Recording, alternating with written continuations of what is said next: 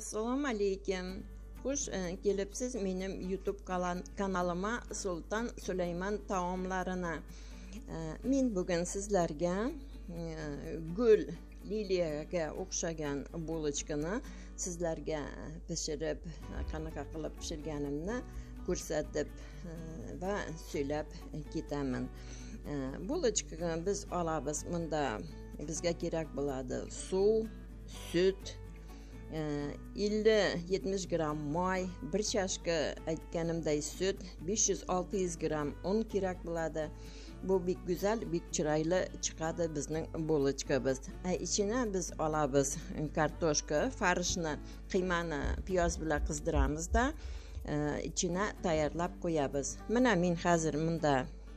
10 э, граммға яқын дрожжи алдым. Бір kasa или бір чашка 100 грамм елік су алып дрожжинні қазір ірітемін бір столовый қашық шәкәрі қойдым бір чай қашығы тұз қойдым гүзәл үтірайлы аралаштырып қазір бізіні қосамыз бір чашка мындай сүт алдым мен қазір мен алған едім мұнда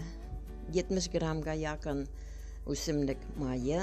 өсімлік майын қоштық біз барын қосып бітірдік қазір 600 граммгача ұн алдық мына ұныбызны қосамыз да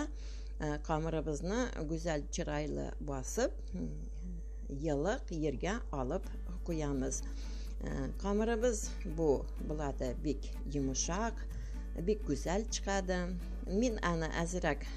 қатырақ басырға болдым э, потому что қабарғаннан кейін бик жұмшақ э, болады ябышмасын үшін мына біз қазір 30-40 минутқа елік жерге алып қоямыз э, қамырыбыз бик тез қазар қабарады күннәр қазір бізде бик ісі мен хауасын шығарып қазір қамырымны үстәлге аламын да колбасаға ұқшатып қылып икеге бөлемін икеге бөлгеннен кейін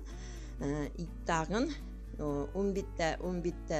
лепешкаларға или шарикларга бөліп чықамын да ясай башлаймын мына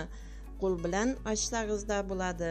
таяқ белән ачсагыз да болады бу қамыр бик йомшак и бик қолай кылынады бу безнең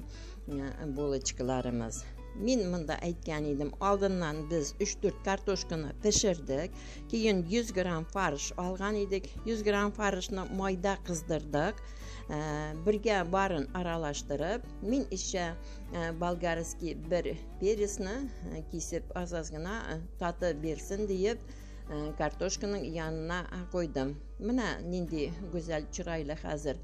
япыштырамыз да булочкаларыбызны қоябыз продвинга анда